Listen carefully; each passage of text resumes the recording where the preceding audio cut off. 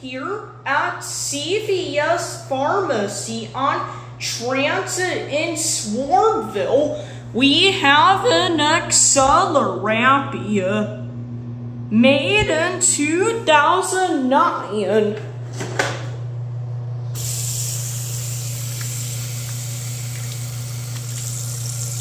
See how loud this one is.